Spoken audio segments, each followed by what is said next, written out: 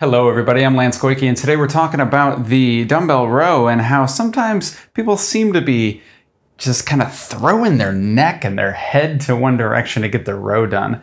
Um, I, you know, I've, we've talked before about how the core is important, but how the core is not just your abdominal muscles or your deep back muscles, but it's also everything that goes all the way up to your cranium um, and, and includes your ribs and all sorts of other stuff. So we need to make sure that you're getting these positions correct.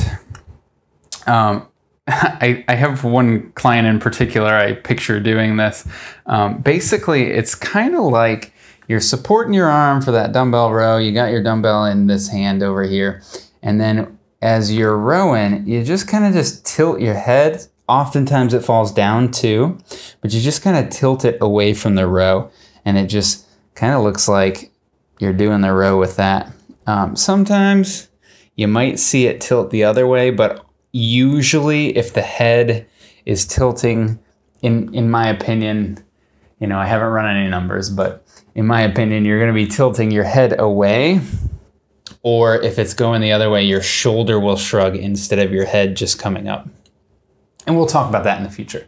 Today, we're talking about tilting away.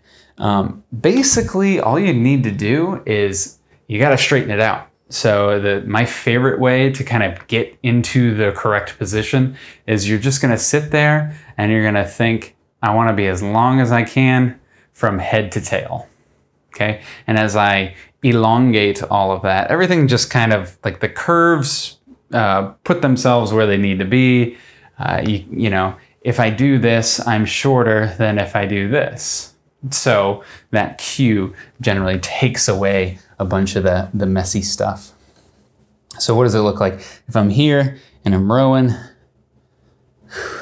this is maybe a little less exaggerated, then I just try to get long from head to tail like this, and then I have my row. Now my neck doesn't feel quite as tight. Um, and I'll be able to feel more in my rowing muscles. I also want to show you it from this side just because I know this one's kind of subtle. Um, it might look like this. Okay, and then when we get long, straightens out. Okay? Uh, again, core stuff is important, positioning is important. You need to make sure your neck it, it has a normal curve, isn't too flat, but also isn't, you know, curving in ways that are a little bit unreasonable because you've got a lot of nerves that come out of that cervical spine. You've got all those things running down through your arm that are supplying your rowing muscles. You want to keep them as free as you can so that you can recruit as many motor units as possible and really train your muscle.